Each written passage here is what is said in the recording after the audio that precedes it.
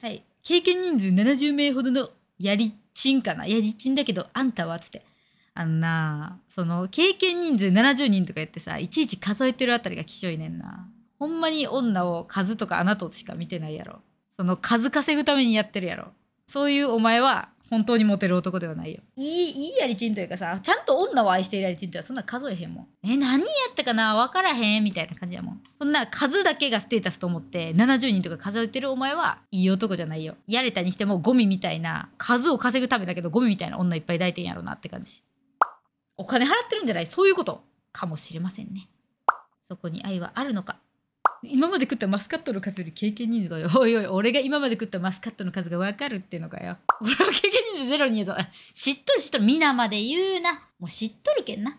いや、カズ自慢若いならいいけど、若くても痛いで。何人やったなんて別に自慢じゃないからな。それこそ、なんかちゃんと愛して、ちゃんと恋愛して、ちゃんとやってきとうって言うんだったらさ、そんなに数って増えへんはずやから、まあ、ちゃんとモテてきた、ちゃんと付き合ってきたモテよって言うんだったら、経験人数は大体、そうやな、30になった頃だったら、まあ、20人とか、それくらいになると思うんだよな。70人っていうのは、ほんまにやれたらいいやで、食い散らかしてきただけや。しかもそんな B 級、いや、なんなら C 級みたいな、カップラーメンみたいな女ばっか食ってるだけや。20多い。いや、20ぐらいじゃねえの20でもいいて15とか。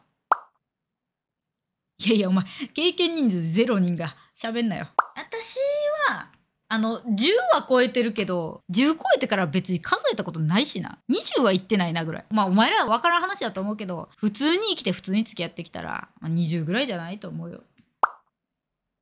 そう、10超えたら数えへんことで、それで数えてんのがキモい。僕で経験人数プラス1しますから、こっちに何のメリットもないんやけど、やめてくれる。女は経験人数増えてもええことないからな。えー、170センチ以下の男性の人数覚えてる？やった？まあ覚えてるよ。少ないけどな。2人くらいしかおらんから。20は多いよ。やかましいわ。経験人数3人って言ってる女性は嘘。まあ嘘かもな。チビは性欲が強い。女も男も。チビは劣等種だから。子孫を残そうと頑張るので。性欲が強い。異論は認めません。はい寝ます。ではここら辺で。はい。たぬかな？151センチ。はい。ということは、俺たちちび劣等種は性欲が強い。昭和していきましょう。俺もお前も劣等種。性欲が強い。以上です。はい、おやすみ。